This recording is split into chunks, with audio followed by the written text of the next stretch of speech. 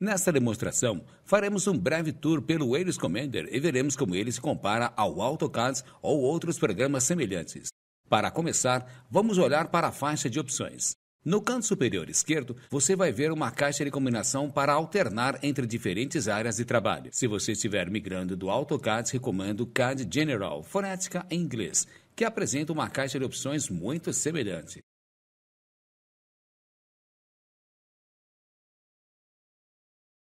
E se você preferir trabalhar com menus e barras de ferramentas, basta escolher a área de trabalho Classic.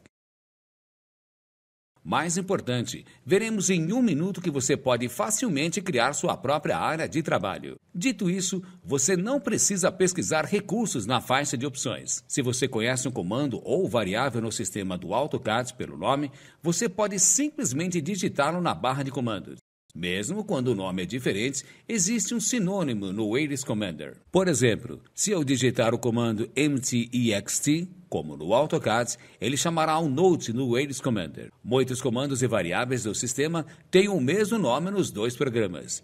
E se não tiver certeza, digite apenas as primeiras letras para ver as sugestões. Funciona exatamente da mesma forma com coordenadas relativas, distâncias, ângulos, e encaixes de entidade.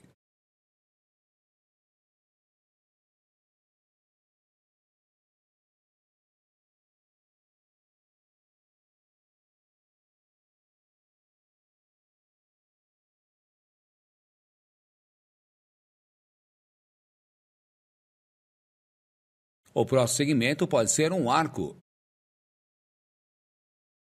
Então, você já viu alguma grande diferença? Bem, não há realmente muito de novo para aprender aqui. Por exemplo, o snap é chamado de Object Snaps no AutoCAD e o Interior Snaps no Ares Commander. Nome um pouco diferente, mas funciona da mesma maneira. Além disso, em ambos os programas os atalhos de teclas são os mesmos. Por exemplo, F8 para o modo orto.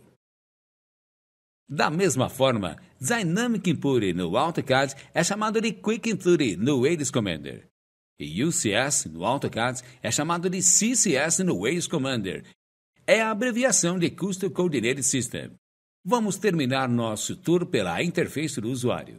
Na lateral, podemos encontrar as paletas. Você pode redimensioná-los e escolher se eles serão ocultados automaticamente ou permanecerão visíveis.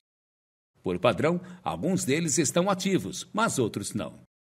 Se você clicar com o botão direito do mouse na faixa de opções, poderá selecionar os que deseja.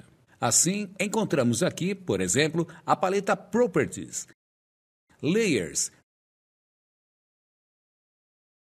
Reference ou Design Resources, que é equivalente ao Design Center do AutoCAD. Eu gosto especialmente da paleta Tool Matrix. Ela não existe no AutoCAD e posso usá-lo para arrastar e soltar barras e ferramentas. É uma maneira fácil de misturar barras e ferramentas com a interface da faixa de opções.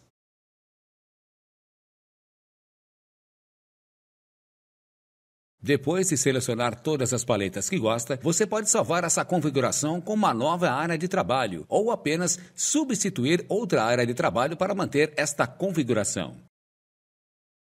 Para mais personalizações, digite Options no teclado. Uma caixa de diálogo aparece para centralizar todas as opções. Essa caixa de diálogo é significativamente diferente do AutoCAD. Então, à primeira vista, pode ser um pouco confuso para um usuário do AutoCAD.